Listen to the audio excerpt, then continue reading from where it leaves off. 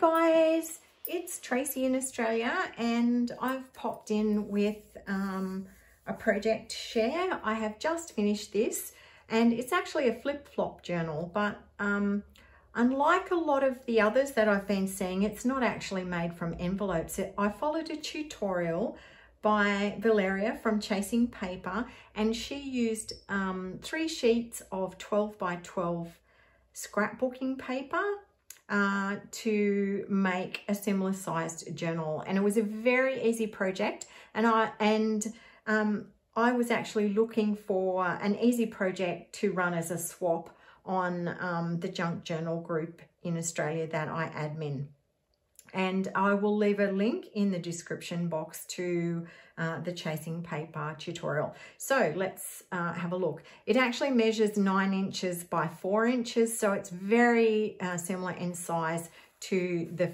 the um, envelope flip-flops. I've just um, used a little bit of seam binding, but it doesn't really need anything. And um, I'll just show you how it, how it opens up. It's a very cool um, idea. It's pretty much like a concertina. Um, and you, using the 12 by 12 paper and following um, Chasing Papers tutorial makes it really easy. So here's my little cover. I've actually used um, the scrapbooking paper that I used. I'm not sure who makes it because I'd cut off the selvage, but it had, um, this is one of the cards from it. I had four pieces. I had some ephemera and then I had um, three sheets of paper and it kind of had a little bit of um, a vintage circus theme. So I've gone with that in my little journal. So this is one of the ephemera pieces and I've um, created a little pocket with that. Didn't pop anything in it, but you could. Um, made a little dangle with some repurposed bracelet pieces and just a little bit of um, washi tape.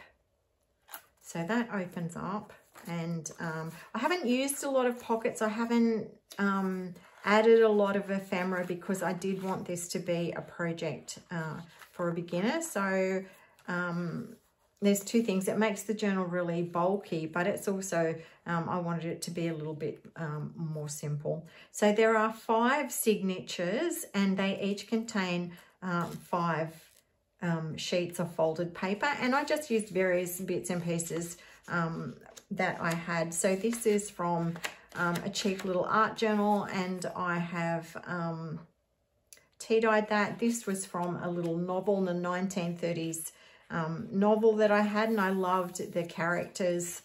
I thought they looked very comedic.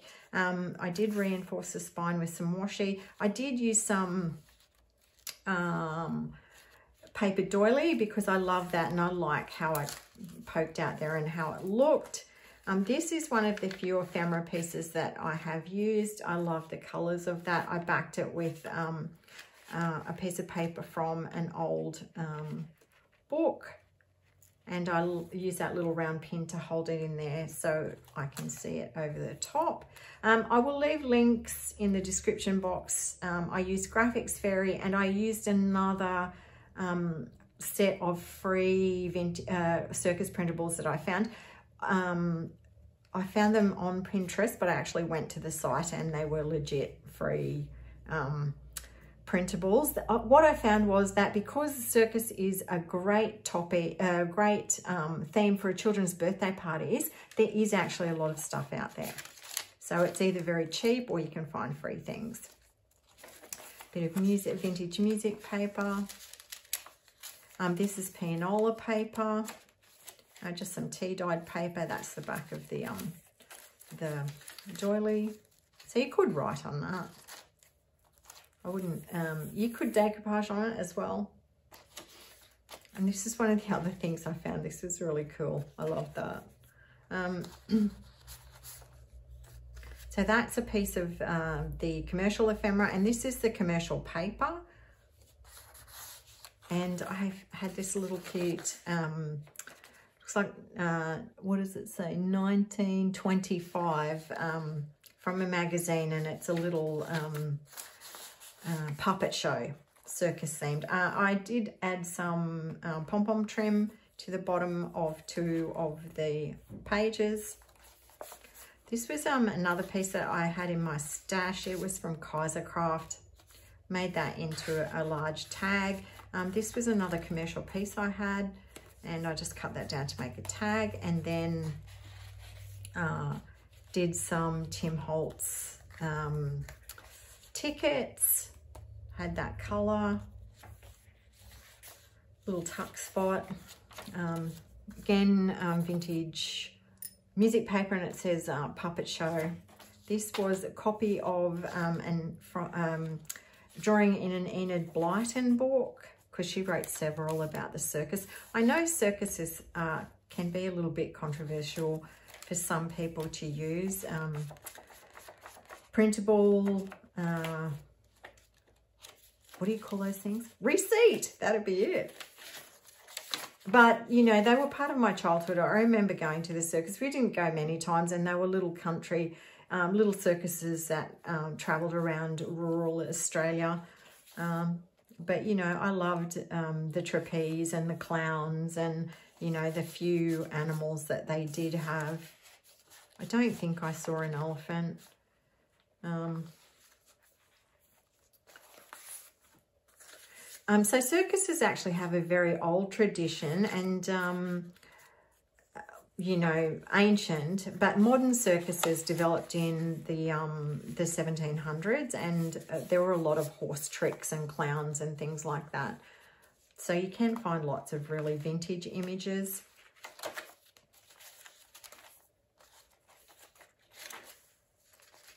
tumbling clowns. The three clowns were sent somersaulting and cartwheeling through the streets of the town. And actually, I don't remember there being parades, like circus parades that you see when I was a child. Because, I mean, I lived in a small village. So this is um, the cover of uh, some sheet music when it's circus day back home. And they're obviously doing the circus parade. This is um, the commercial paper. Very pretty. And then this is the back of it. And so you just keep folding. Such a cool concept.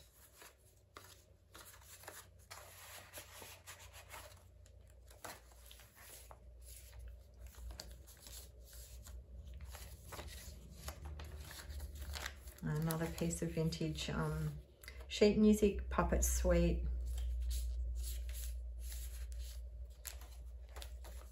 And um, this was a large tag from the printable. I can't remember the name of it, but she had gorgeous things. The images um, were similar to the graphics fairies ones.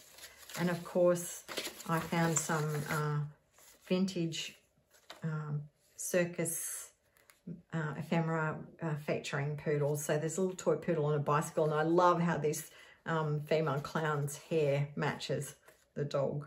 She's all very frilly and um, poodles had a, had quite a history in the circus and they're still used uh, to entertain. They love learning things. And this is one of my favorite images. I saw this on, I've seen this on Pinterest a lot. And so this was my opportunity to use it. And um, I made that into a faux postcard. I used a real stamp on there. There are certain images that pop up all the time and, you know, it'd be real, I, I would love to do another, I think I will do another circus uh, journal, a slightly bigger one. So, and this was another one that I found and turned into a postcard, but it was too big to go in here. I love that. Okay, there we are. I hope you've enjoyed that and I will see you again soon.